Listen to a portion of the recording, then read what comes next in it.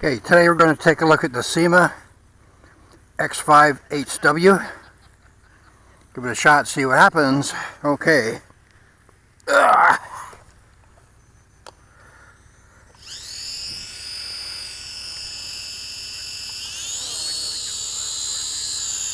Okay, this is an altitude hold quad. Seems to drop a bit, but not bad. Still very stable. This is a really nice flyer.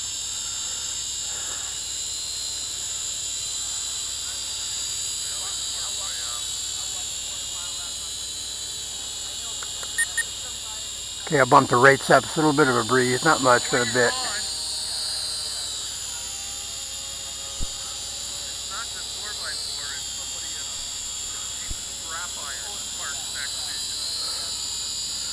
Okay, let's take a close look at it. See, as you can see, it's a really nice, very stable flyer. Really nice.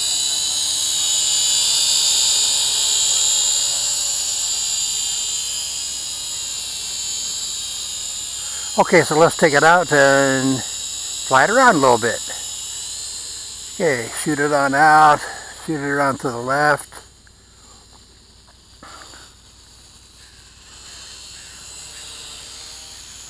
Get some nice bank turns.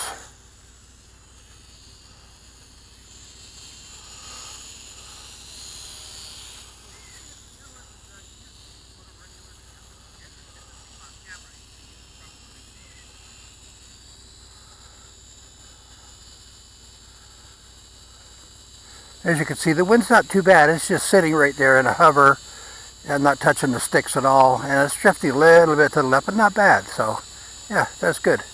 That's real good.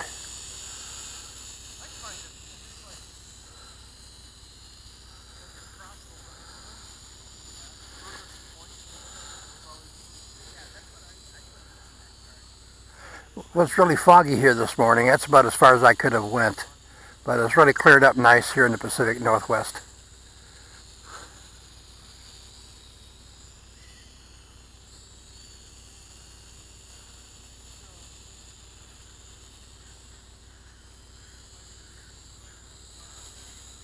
As you can see, really nice flyer. Just love it.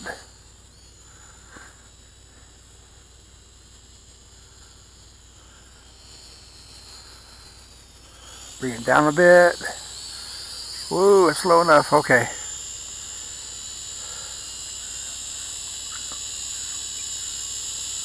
You can see it's really quiet. Uh, it's a blast to fly. That's one of the reasons why I brought this out. Uh, I thought it was foggy. And uh, this one, here, you can fly it real close and have fun.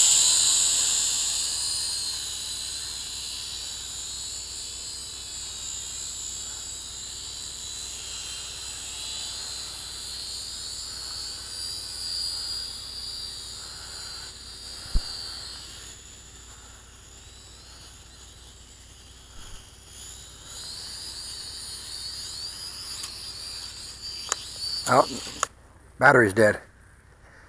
Okay.